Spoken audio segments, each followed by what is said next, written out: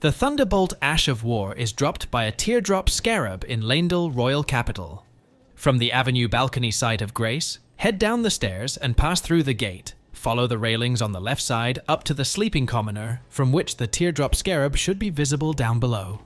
Don't forget to like this video and subscribe for more gaming tips.